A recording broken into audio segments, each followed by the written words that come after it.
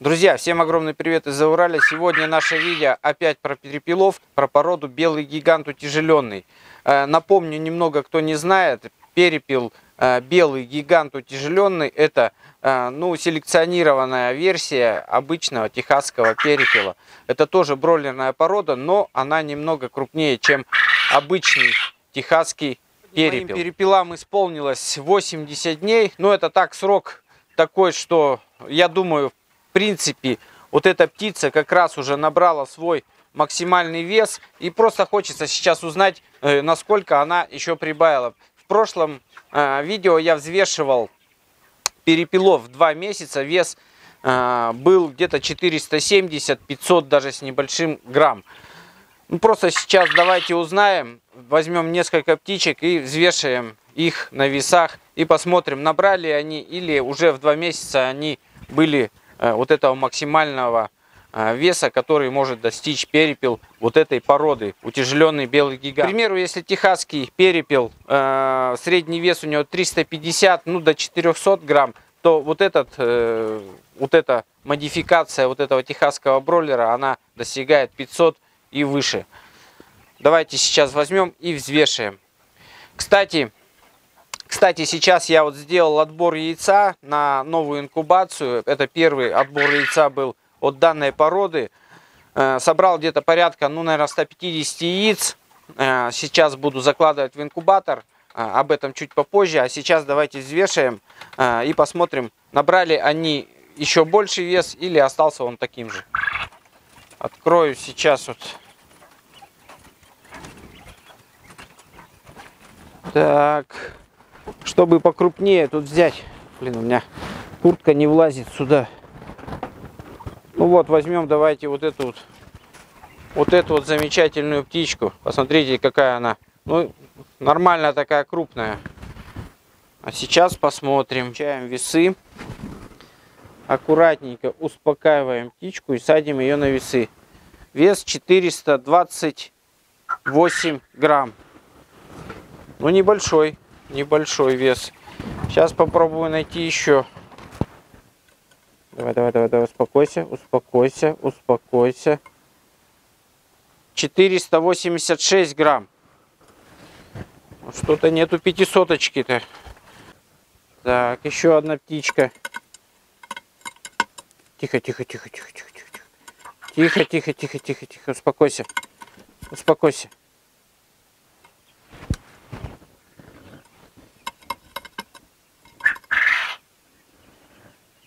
420. Не крупные. Еще одну возьму. Ай, куда побежала? Куда побежала? Тихо, тихо, тихо, тихо, тихо, тихо. Тихо. Чш. Да успокойся ты, а.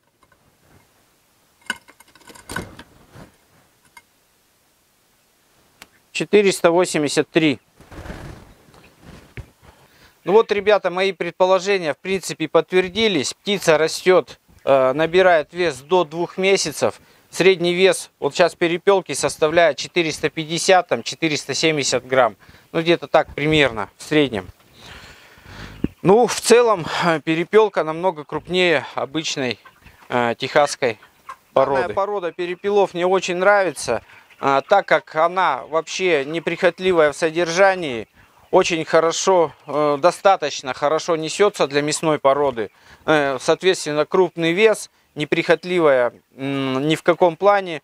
Обычные стандартные условия содержания, вода, корм, э, температура в помещении не должна опускаться ниже там, 10 градусов, перепелка перестает нестись.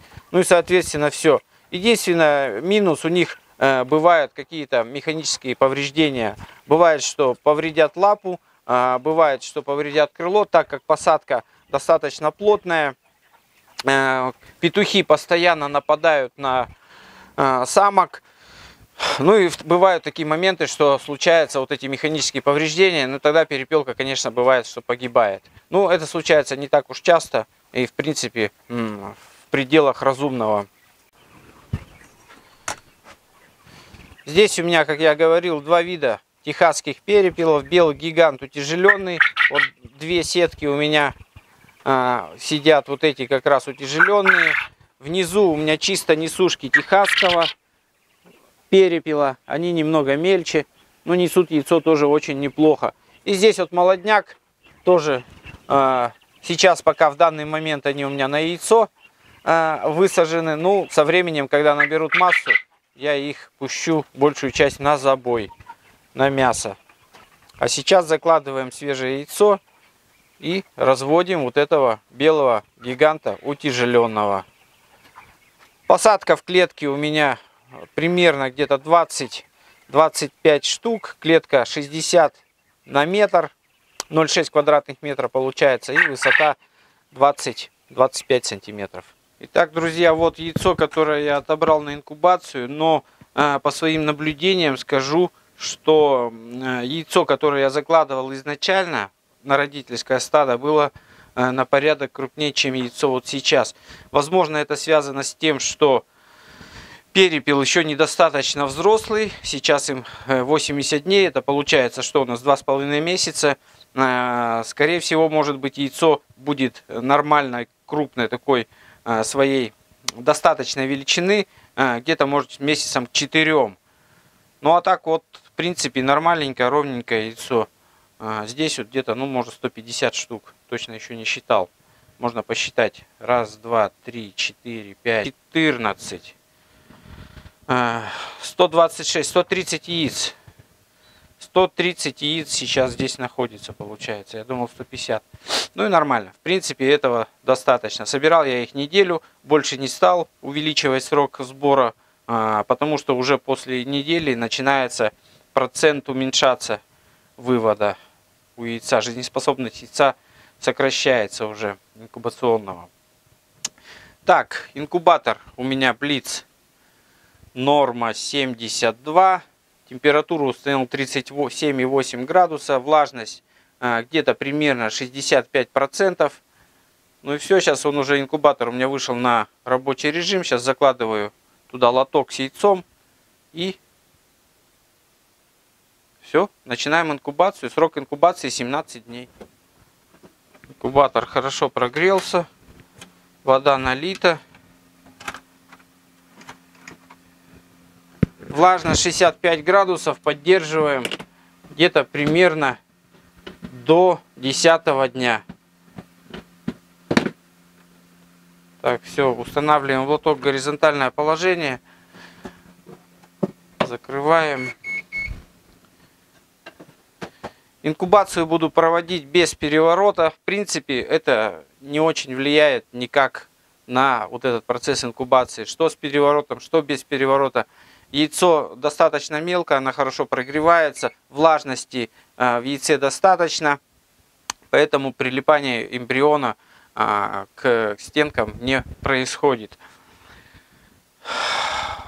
В отличие от э, куриного яйца, повышенную влажность на начальном этапе тут немного срок увеличивается. У куриного яйца на 5-7 день убавляется Э, вот эта повышенная, инкуба... Э, повышенная влажность, а здесь на десятый день. А, чем это обусловлено? Вот есть такое понятие там в яйце алантоис, вот когда он закрывается, яйцо набирает всю необходимую влажность для дальнейшего развития эмбриона, и тогда уже влажность не так важна. Там потом убавляем до 30, э, до 40 процентов, 45, 40, 45 процентов ставим и на 15 день увеличиваем влажность до 75-80%, а, чтобы цыпленок нормально мог вылупиться, чтобы скорлупа была достаточно мягкая для вывода цыпленка. Ну, в принципе, все на этом, друзья. Подписываемся на канал, следите за новыми сюжетами. Всем добра, друзья, ставьте лайки. Всем пока-пока.